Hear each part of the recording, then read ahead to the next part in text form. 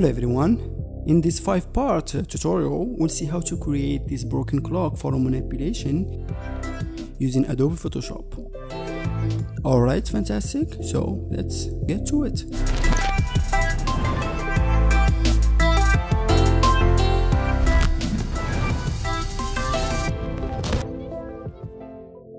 Alright, now before we're gonna start this tutorial, make sure to download all the images that we'll be using to create this image. In case you want to follow along with this tutorial, you will find a link down in the description below where you will find all these uh, stock images that we'll be using. Alright, so let's go ahead and open Photoshop and then I will go to File, New and I will uh, create a new document with 1920 in the width and 1080 in the height 300 in the resolution and RGB in the color mode and the will be okay. Alright, now we'll go ahead and open uh, the background that we'll be using which is this one in here. So we'll take it and open it in Photoshop. And then I will take it and drag it to the other tab in here. And I will close this. Alright, now we'll zoom out a little bit by pressing Alt and scrolling with my mouse in here. And I will press Ctrl T so I can enter the transform mode. And I will make it bigger so it will fit uh, the whole canvas. Just around here now let me just make this in the center. Now I will uh, rotate it so it will uh, line like this. Alright now I will uh, right click and choose warp. Because I want to make uh, the ground to look a little bit curvy like this so I will uh, go in this angle in here and I will take it down a little bit as you can see this will make this part to go down. So I will just do that. And I will go to the other one here and I will take it down too alright now I will go to this uh, part in here and I will bring it a little bit up just around here. As you can see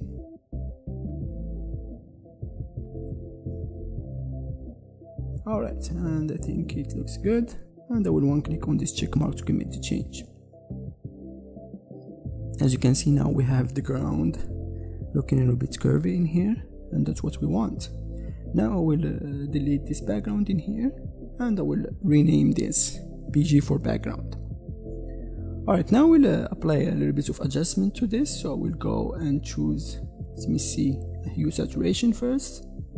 So I will desaturate uh, this image a little bit. So we'll put down the, the saturation a little bit around minus 25 or minus 30.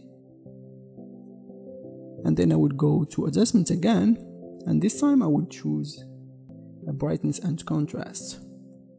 And I will crank up the contrast up to 100 you might need to experiment with these values that you will be doing in case you want to do your own you can do that. Alright so I will go to adjustments again. And this time I will choose let me see gradient map. And I will open the gradients in here and I will change this colors. So I will start with the white. I'm gonna change it to let me see. I think I will change it to a red color. Little bit warmer color, I think. Let me choose red. And I will go to the black and I will change it to a yellowish color.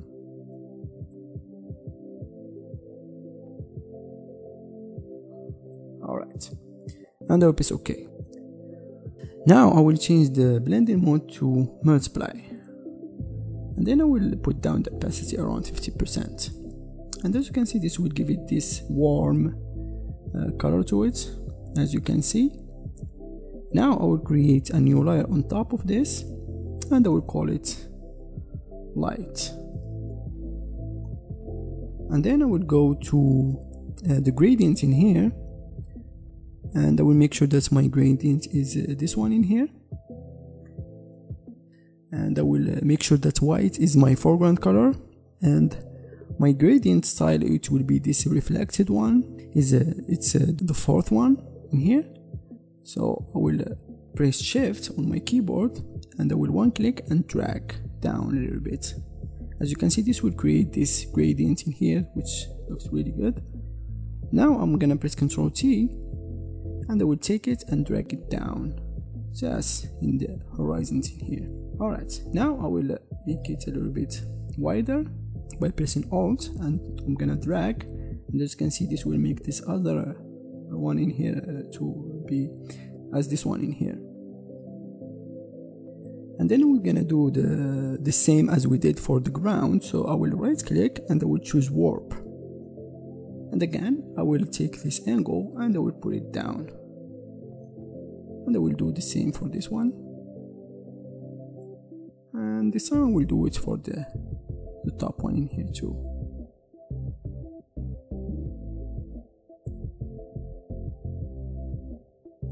Alright and I will one click on this check mark to commit the change. As you can see this will look like it's foggy kinda but it's alright. Now I will go and I will change the blending mode of this to uh, overlay. And I will put down the opacity around 50% as you can see don't like this uh, brightness in here. So I will uh, apply a layer uh, mask to this and then I will grab a regular brush and uh, the opacity I will make it around 20% and I will make it bigger. And with the black as my foreground color I will uh, delete this from the ground in here. As you can see alright I think this looks good.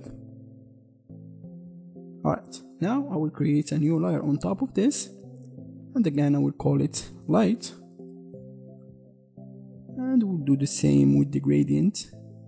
But this time I will, I will choose this uh, radial gradient in here is the second one. And again I will press shift and I will one click and drag it like this.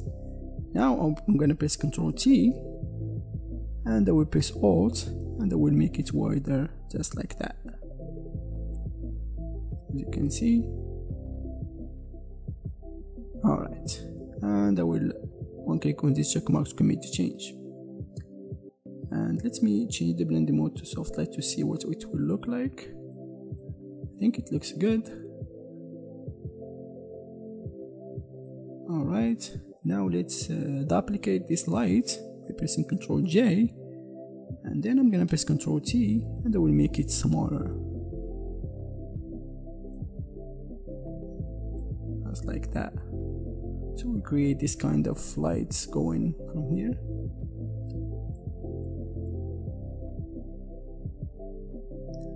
Alright now I will uh, apply a level adjustment to this. So I will go and choose levels and I'm gonna try to darken it a little bit in the midtones in here so I will take it and darken the midtones quite a bit on 0.70 and the white let me see. Alright and the black. Alright I think this looks good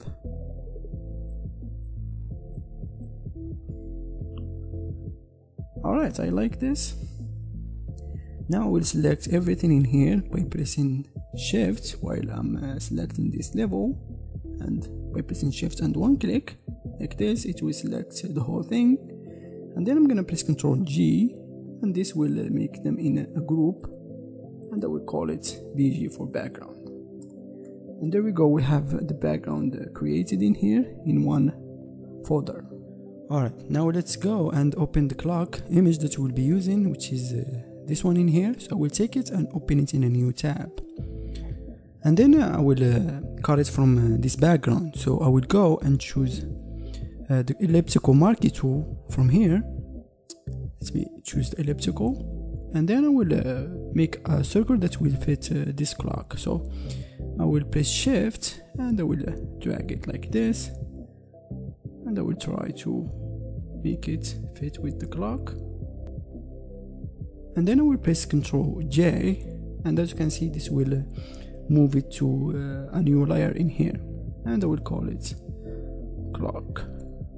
Alright now we'll switch to my move tool by pressing V on my keyboard and I will take this layer and I will drag it to the other document. Just like this and I will close this tab.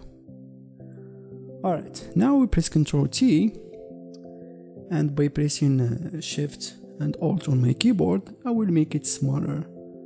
Just right here. And then I will take it and put it. Just about here. And I will rotate it a little bit. So it will make this a little bit to fit like that. Alright and I will press enter alright it already look like it's sitting on uh, the grass which is good but we need to make it look a little bit uh, believable than this. So I will uh, apply a layer mask to this uh, clock layer. By one click on this layer mask icon and then I will go to my brushes and I will choose this uh, grass brush in here. If you can't find it uh, just go to this gear icon and you know one click on this reset brush and this will uh, reset uh, the brushes to its uh, default which is coming with Photoshop by default. And you will find this grass brush in here. So I will go and open the brushes so we can make a little bit of changes. If you can't find this brush just press F5 on your keyboard and it will open. So now I will uncheck the transfer and color dynamic because we don't need it for this and then I will make sure that uh, I'm on uh, the layer mask and uh, my foreground color is black and opacity is set to 100% and I will start deleting like this. So this will make a look that, that the grass is in front of the clock which what we want. Alright I think this looks good. Let's zoom out and see Alright, I think this looks good. Now uh, it's time for us to make uh, a shadow. So I will uh, make a new layer under this uh, clock layer. So I will press Ctrl and one click on this uh, new layer icon and I will call it shadow. And now we'll go to the brushes again and this time I will choose a regular rounded brush but I will make sure that the hardness set to let's see 60% to to 70 let's go with 60 and then I will uh, make sure that my foreground color is black and I will one click like this. And as you can see this will create this circle which was uh, we want. Now I'm gonna press ctrl T and I will move this to right here and I will make it bigger. Just like that. Now I will right click and I will choose distort so we'll uh, make it look a little bit uh, to go with the, the proportion of the clock. And let me move this all the way in here and this one.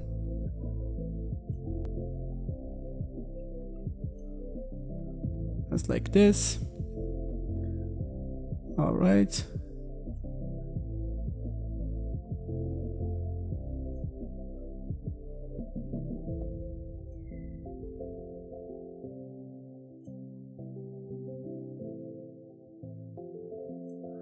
Alright, and I will one click on this check mark. Now I will uh, put down the opacity around 50% and then I will make a, a, new copy of this shadow by pressing Ctrl J. And this time I'm gonna press Ctrl T again and I will make it a little bit wider. As right here.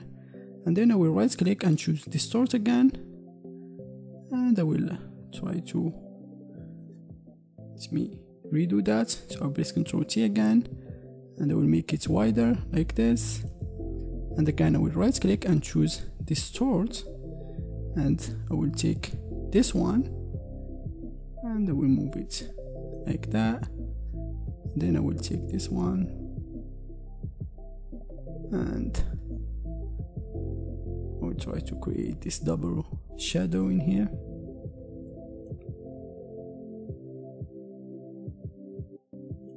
Alright, and I will one click on this check mark to commit the change. And let me put down the opacity of this first shadow that we did.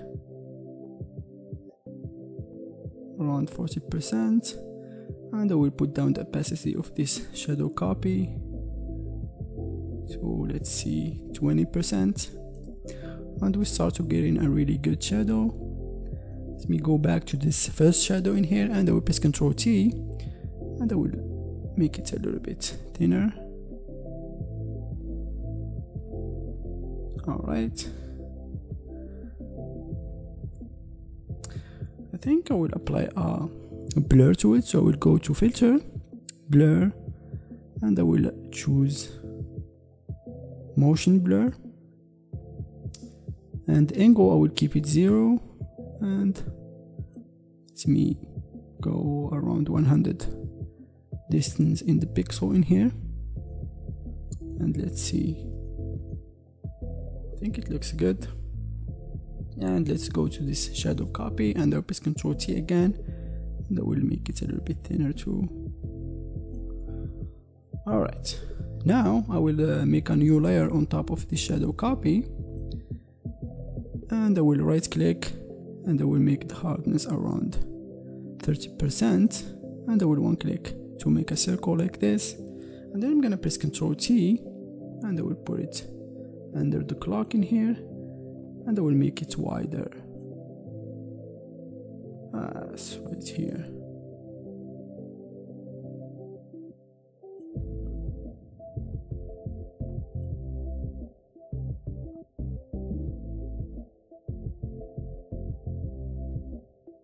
Alright and I will press enter now we'll put down the opacity around 50% or so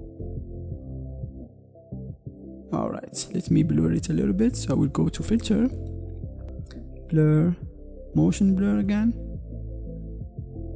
And let me see. We go with 71. And let's press Ctrl T again.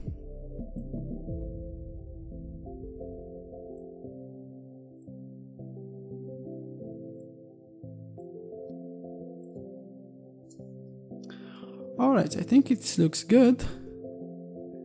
Now let's merge uh, all the shadow together. So I will select them, the three of them, and I will press Ctrl E, and I will call it shadow. And now we can play with the opacity of them. Alright, so now we're done with the shadow, as you can see. But uh, here's a trick uh, to improve uh, the shadow a little bit more.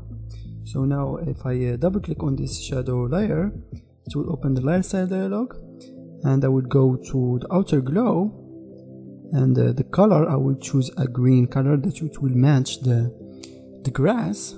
Uh, this color will work fine so it's okay.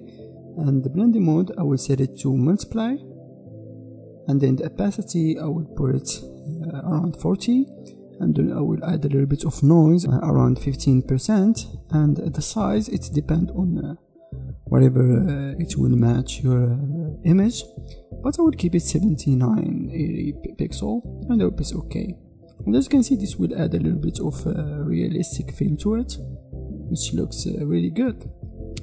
Alright so that is it for this uh, first part of this uh, photo manipulation and I will see you in the second part of this. Alright don't forget to subscribe and comment and you know wait for more tutorial and peace